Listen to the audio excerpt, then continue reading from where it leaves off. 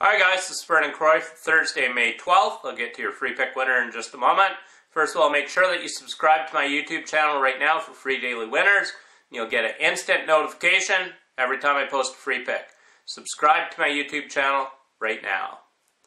I'm coming off a monster loss last night in the NHL as we had the Dallas Stars and they lost 6-1 to the St. Louis Blues.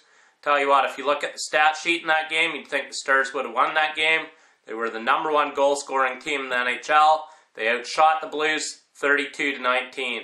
There's not a lot we could do about that game. I apologize for that play.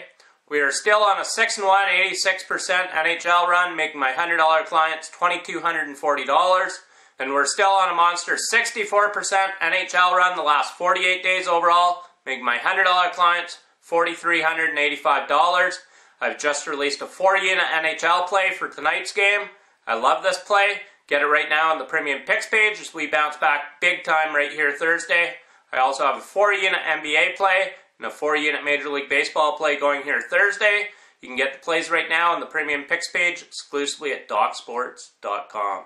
Your free pick winner for Thursday, May 12th, we're taking the San Antonio Spurs and Oklahoma City Thunder to go under the post total of 195.5. The over-runners 2 and 6 in the last 8 games played between these two teams. The over-runners 0-4 for the Spurs in their last four games after a loss. So once again, your free pick winner for Thursday, May 12th. Take the Spurs and Thunder to go under the post total of 195.5.